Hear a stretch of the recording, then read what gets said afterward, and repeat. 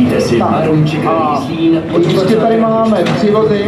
První z nich je Ford Fiesta R1 za volantem Miroslav Kalina, po jeho boku Milan Tyčka, ale myslím si, že ty zkušenosti by na barinku mohly platit.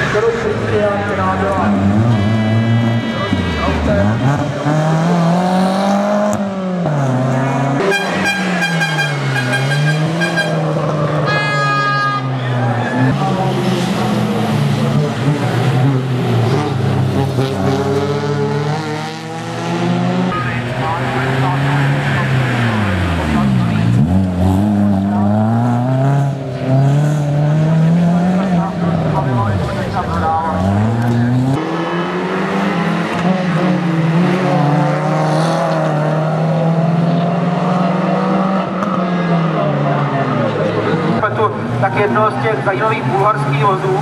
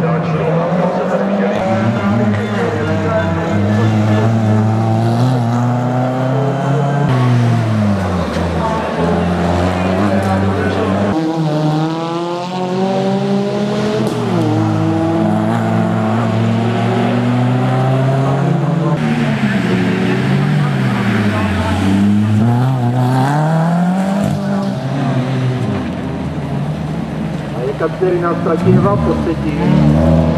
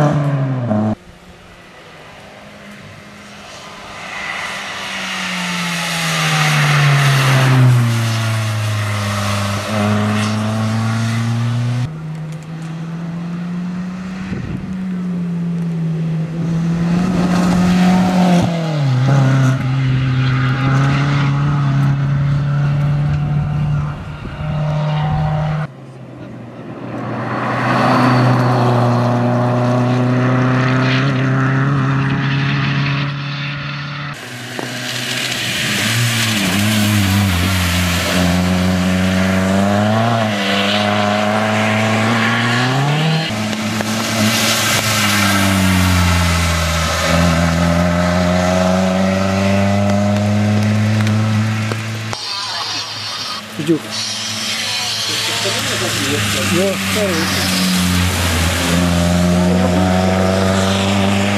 부터 는.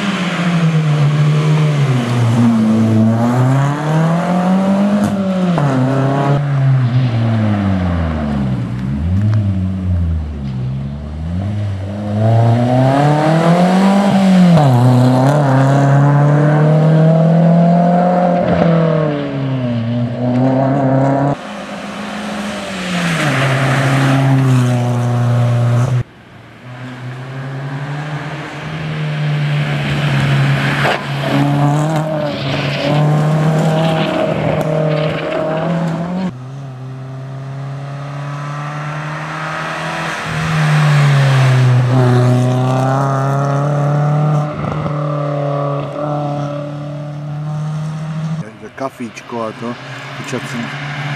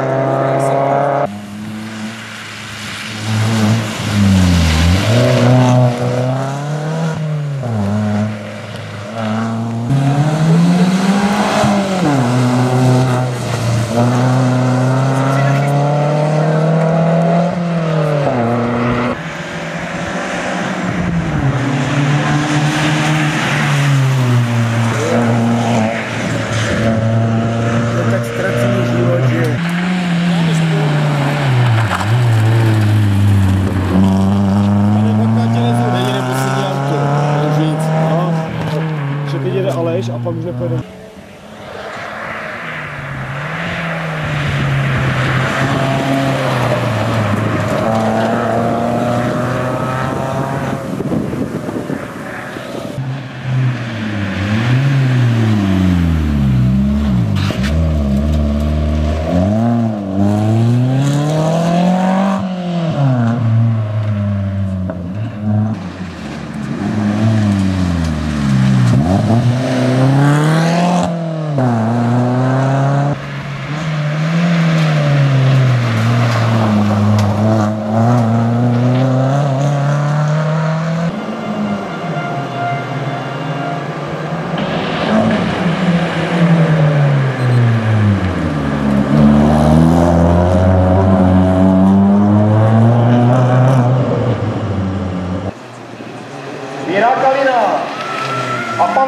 のトマトム